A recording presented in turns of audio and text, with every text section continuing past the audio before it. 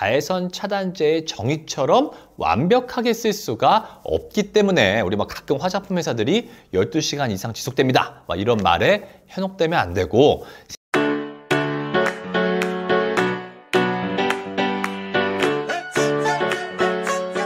안녕하세요. 피부과 전문의 심해철입니다. 안녕하세요. 아나운서 홍재경입니다. 원장님, 오늘은 구독자분들을 위해서 선크림에 대한 궁금증에 답해보는 시간을 한번 가져보려고 하는데요. 네. 저희가 또 오랜만에 이 OX 팻말을 들고 한번 OX인 대답은 이 OX로 대답을 해주시고 주관식 답변은 그냥 답변으로 좀 대신해 주시면 감사하겠습니다. 네, 지금 안 그래도 뭐 날씨도 풀렸는데 예, 자외선이 더 강해질 테니까 좋은 주제겠네요. 네, 요즘에 선크림 많이 신경 써서 바르시는데 과연 어떤 OX 퀴즈가 나올지 한번 첫 번째 질문 가보도록 하겠습니다. 원장님, 이 선크림을 보면은 SPF 50 플러스 PA 플러스 플러스 플러스 뭐 이런 식으로 표시가 막 돼 있잖아요. 숫자가 클수록 차단 기능이 좀 좋은 거는 알겠는데 이게 구체적으로 무엇을 의미하는지 설명을 좀 해주시죠. 네, 이제 자외선은 크게 UVA와 UVB로 나뉘는데 UVA는 에너지가 낮지만 지면에 도달하는 양이 많고 피부 투과력이 높습니다. UVB는 에너지가 크고 강력하지만 지면에 도달하는 양이 UVA보다 적습니다. 그러니까 UVA는 약하지만 피부 깊숙이 쭉 밀고 들어오는 느낌이라면 이제 UVB는 강하게 팍 때리는 자외선이라고 생각하시면 됩니다. 자, SPF는 이 중에서 UVB를 막아주는 것을 나타내는 지수고 PA는 UVA를 막아주는 것을 나타내는 지수라고 생각하시면 됩니다. 오, 그러면 제가 쓰는 게 SPF 50이라고 적혀 있는 것 같은데 그러면 숫자가 클수록 좋은 거니까 사실 뭐 하와이나 이런 데 가면 100짜리, 200짜리 이런 것도 있잖아요. 그럼 숫자가 높을수록 좋은 거라고 봐도 되나요?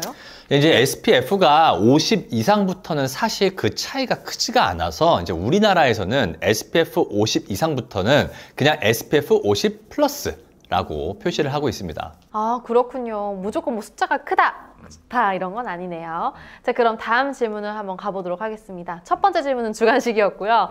선크림은 보통 굉장히 뻑뻑해서 어, 선로션을 쓰고 있는데 효과는 이게 똑같은지 궁금해 하시는 분들 많거든요. 음. 과연 선크림과 선로션의 기능은 똑같다. OX로 해주시기 바랍니다. 음,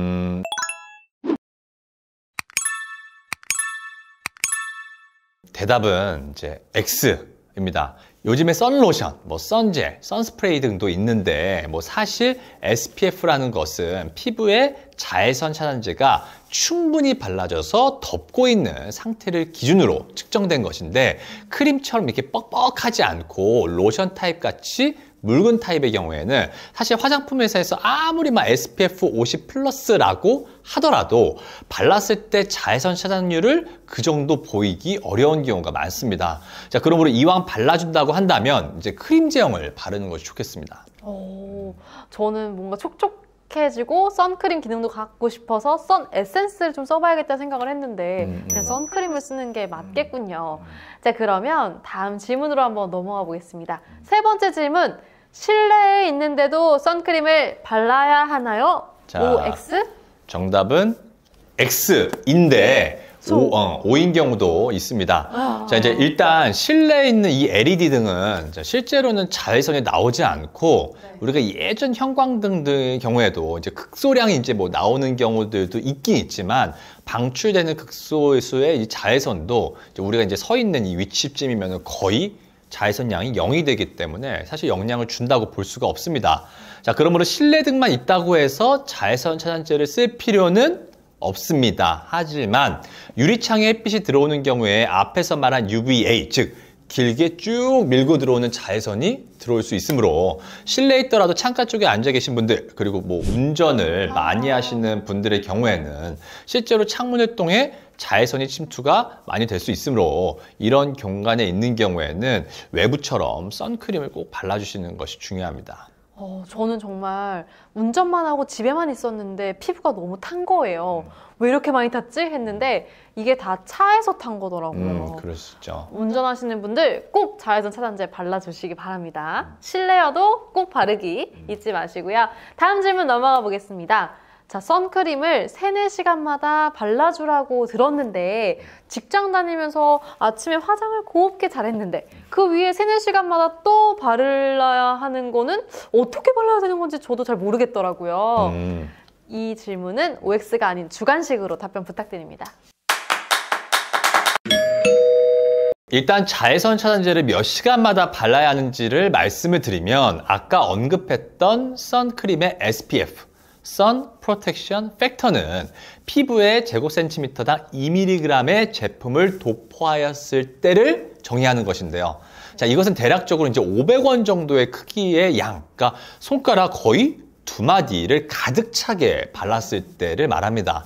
자, 근데 우리는 일상적으로 이렇게 못 바르죠. 자, 그쵸. 실제로 만약에 이렇게 바르면 우리 뭐 가부끼 화장하는 줄 알고 네. 사람들이 뭐 되게 다 쳐다봅니다. 자, 이렇게 못 바르고 실제로 이제 짜서 발라보면 얼굴에 티 안 나게 이렇게 펴 바르다 보면 얼굴에 있는 선크림 유효 성분이 굉장히 이제 감소되게 되고 발림성 때문에 제형이 만약에 아까 말한 것처럼 좀 묽게 나오는 경우에는 또 이러한 자외선 차단 능력이 오래 가지 못합니다.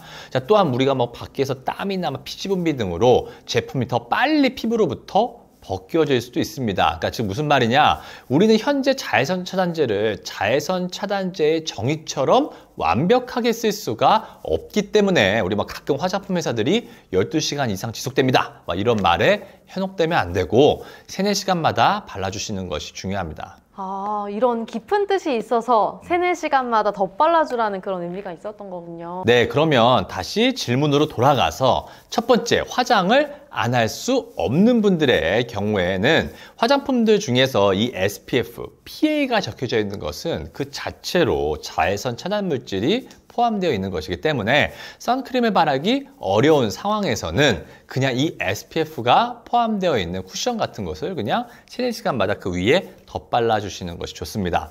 자, 두 번째, 화장을 안 하시는 경우에는 물론 가방에 선크림 같은 것을 준비해 뒀다가 이제 뭐 손으로 짜서 발라줘도 좋지만 이제 그러려면 화장실 가서 막 손 씻고 바르고 맞아요. 다시 손 씻고 막 해야 되니까 어, 이렇게까지 하기에는 좀 번거로우니 선스틱 같은 것을 구입을 하셔서 위에다가 쓱쓱 이제 덧발라줘도 괜찮습니다. 즉 선크림을 휴대하고 다니면서 매번 짜서 쓰는 것이 귀찮아서 이 아예 안 바르는 것보다는 네. 선스틱 같은 것으로 그 위에 딱풀 칠하듯이 발라주시는 것이 그나마 자외선 차단을 할 수 있다는 것입니다.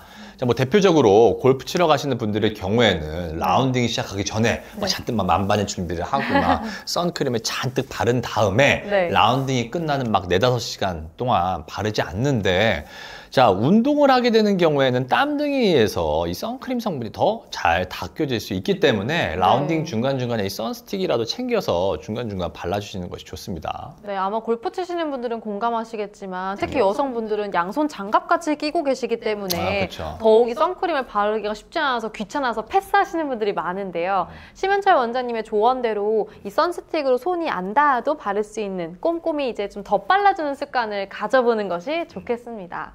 자, 그러면 이제 다음 질문으로 한번 넘어가 볼게요.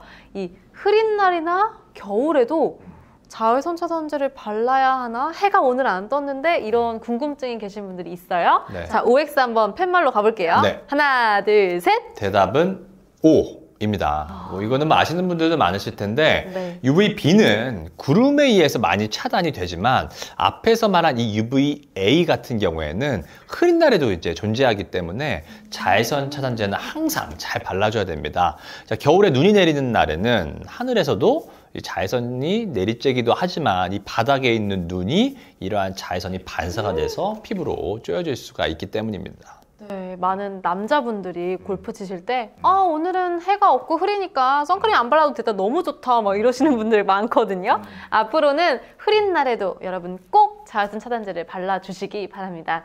자, 오늘도 원장님이 이렇게 구독자분들을 위해서 질문에 시원하게 답변을 해주셔서 많은 도움이 됐는데요. 앞으로도 궁금한 점 있으시면 구독자분들 댓글로 남겨주세요. 제가 이렇게 오늘처럼 원장님께 질문하는 시간 가져볼 테니까 댓글창 항상 확인하도록 하겠습니다. 오늘 영상도 도움 되셨길 바라고요. 구독과 좋아요, 알림 설정까지 꼭 부탁드려요. 네. 감사합니다. 감사합니다.